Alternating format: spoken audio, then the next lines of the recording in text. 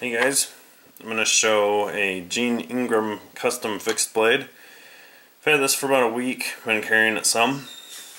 I was going to do a video on my Inkosi Sebenza, but there's I keep botching the video as I don't know what I want to say, and now people are doing fireworks because it's the day before 4th of July, so just bear with me.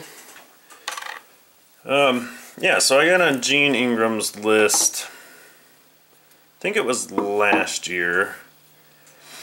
Um, he's not. He's like known, but not heavily talked about, like say Tom Krein or Bob Dozier per se. Uh, but for a lot of people who like fixed blades, his name comes up a lot because he does very high quality work. And my camera's washing out the color of the G10. It's much more vibrant than you're going to see it. But this is Gene's Yellow Jacket model.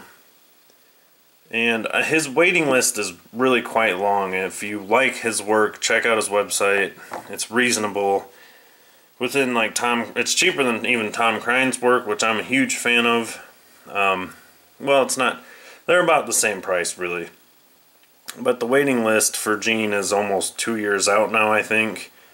I believe I got on there last August or so, and he had norm. I think it was somewhere in there, and I think he said at the end of this year, but uh, he said if anybody dropped off the list, he'd get a hold of me.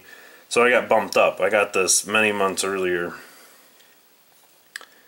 But you can see it's got a lovely hand satin finish, which is probably my all-time favorite finish. Especially when makers do a really good job, and this one is excellent. And I love the engraving when they do that style to show the blade steel. But this is D2 and um, Cardi sent me says 60 Rockwell. And I think this is eighth inch thickness.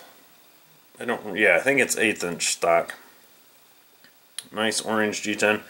Uh, one nice touch I thought was really neat is the pins in the handle also have what appear to be a hand rub finish and it's all going the same direction.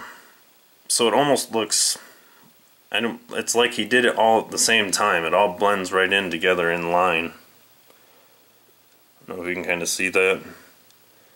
That's a nice touch just a little thing I noticed and I think it'd be kind of hard. I don't know if he did that before or after the handle but to not have any markings on the handle indicating that Another nice thing is you can probably see it's actually got some slight contouring in the handle, which you won't always see kind of that rounded bulbous um, detail in the handles like that. Especially on smaller knives, a lot of times they keep them real flat and one dynamic. Uh, for instance, kind of like a traditional knife like this. So that's another really nice touch.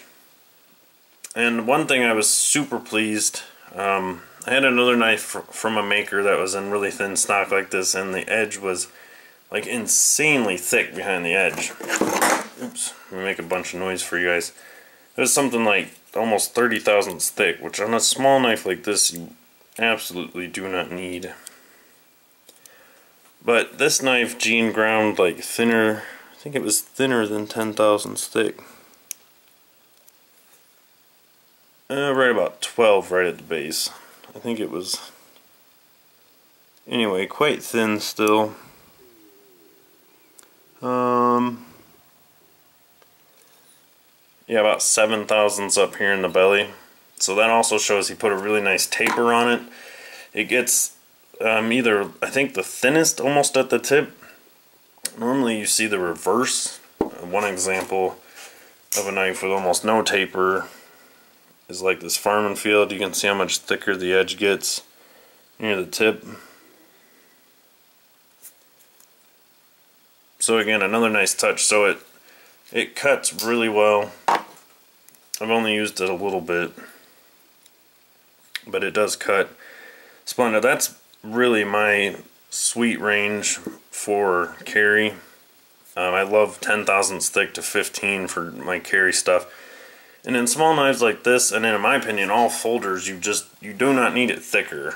Uh, I think sometimes we like to fantasize that we're going to need to use our knife to pry something open, and maybe in extreme cases you would, but if you're that concerned you're going to have to pry something open, just carry a little tiny pry bar. uh, that's my opinion. I'm very, I've been more opinionated about performance ever since I started using thinner knives. It's just such a joy to have something that cuts so well.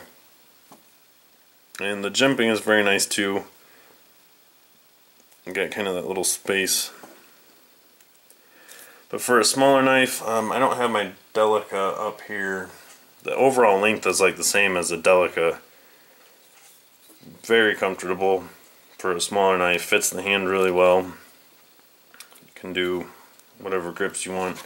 And I kind of carry it. Uh, he did some really nice leather work as well.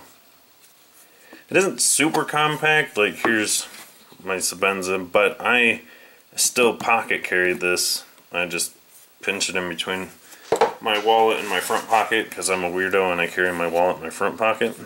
But yeah, carry it like that. Works great. I may get one of those knife ship free uh, pocket cases again. Those worked really nice. But yeah, get on Gene's list while you can if you like the look of his work. I'm really impressed and I'm, I'll probably try and get something else from him again. The wait is just the only downside, but once you have it, you won't regret it, I don't think. So,